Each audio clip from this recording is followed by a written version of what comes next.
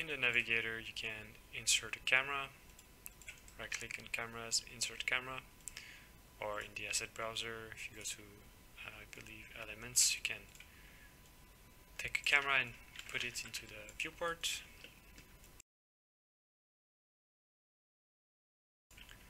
And maybe we want to create a camera that follows the root bone controller uh, in case we want like a follow camera like you would have in game following the player uh, so if we go to the schematic view you have camera and camera interest which is the pointing of the camera. So I recommend actually adding an extra null and call it uh, I don't know cam parent for example.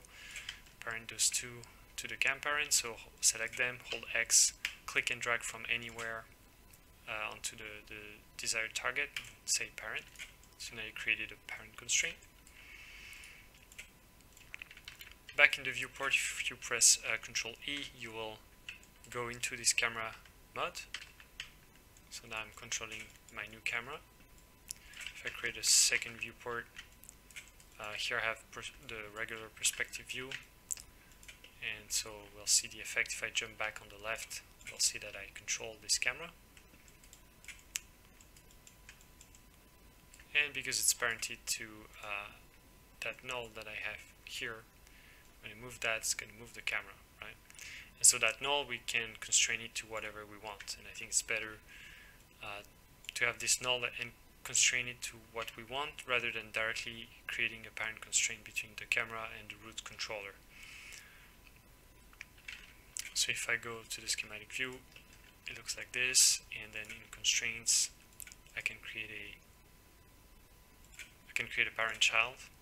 Okay, so uh, parent uh, camera.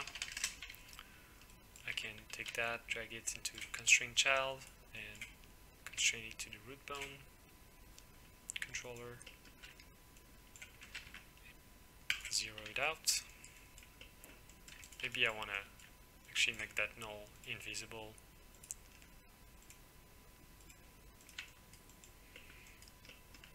Now when I move my root, the camera follows, but it also follows in rotation, so if you don't want that, you can always come into the, constraint properties and then go to constraint axis and disable the rotation. You could also, uh, if there is some vertical movement and you want to ignore that, you can come in and uh, disable effect translation Y. So now it's only going to react to uh, the X and Z translation, so just the horizontal translation.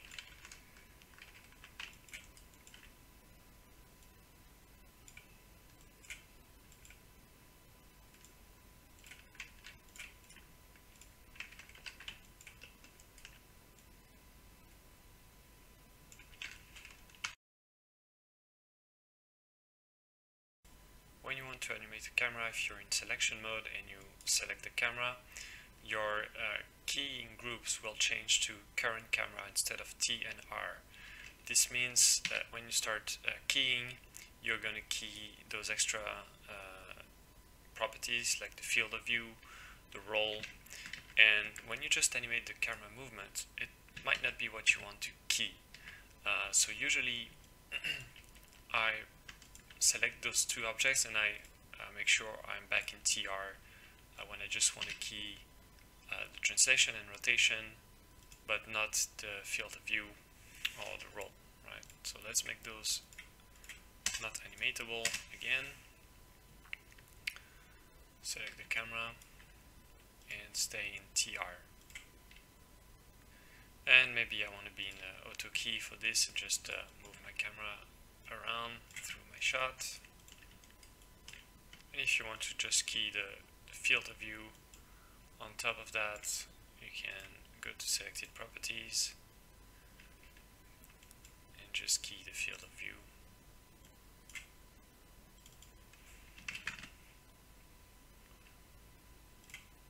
Then I can just take the, the interest if I want. A little bigger. So I can animate it uh, from here as well, from the camera view. So I could constrain that interest if I wanted to, to an object, right? in your camera settings, uh, if you remove the look at object, so you can say right click detach, uh, your camera doesn't have a look at anymore. So it's all based on uh, rotation now. So it's less intuitive, but maybe you you want to you want that for some reason. If you want to create a, a GoPro effect, for instance, so I parent constraint my uh, camera to the head, say snap to maintain offset, then I lock.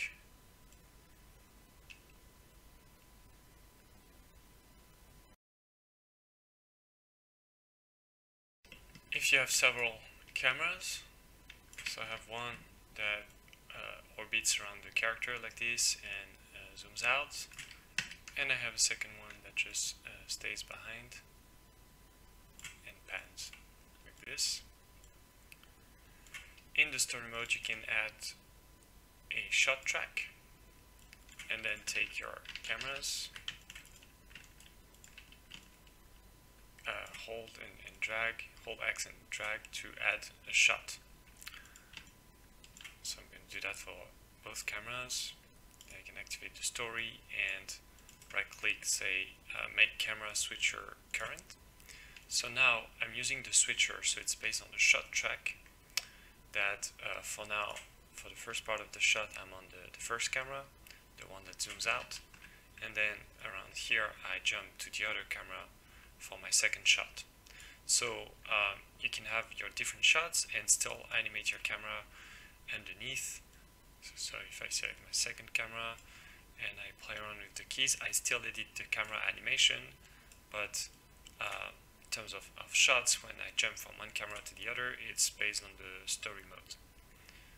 And you can keep that, and you can also uh, tweak your cameras by adding a camera track here and assigning your cameras if you need to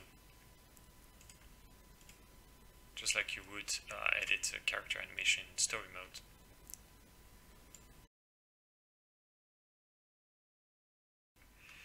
Uh, it's worth noting that you have lights, um, and this is where you can change like the the overall ambience of the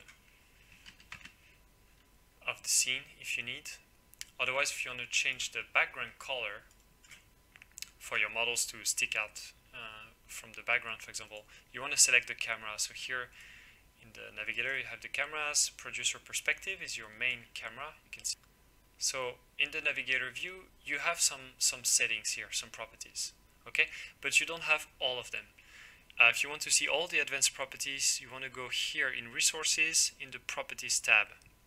And in the Properties tab, make sure that you always have all type here and not default type because when you have default type, you have a lot less options and in all type you have all the advanced settings so in, in for camera settings you can change the background color here for example and you can also change the picture format uh, so by def default it's the entire viewport but um, so this is similar to the resolution gate in Maya you can actually make it uh, like uh, different standard resolutions. So HD probably the, the one you want to work with. And you can specify a frame color so you can make it darker if you want with the frame color. And you have some more settings here. Uh, you can show the time code, for example. This is the frame number You can show the center of the camera and you can show safe area. So this is useful when you animate cameras and you want to make sure you have a nice framing or if you playblast and you want to show someone like uh, you want to be able to refer to a specific frame very easily. You can also add a fog which is pretty strong by default. Um, you could make it like the same color as your background if you want and uh, this way you don't see the frontier between um, the, the sky and your uh, floor mesh if you have one. So depending on the size of your floor or your grid, you can uh, reduce the, the end, for instance. uh, and you probably want to reduce the density as well down to 1 or 0 0.1 and here make it uh, square exponential this way you still see your model clearly.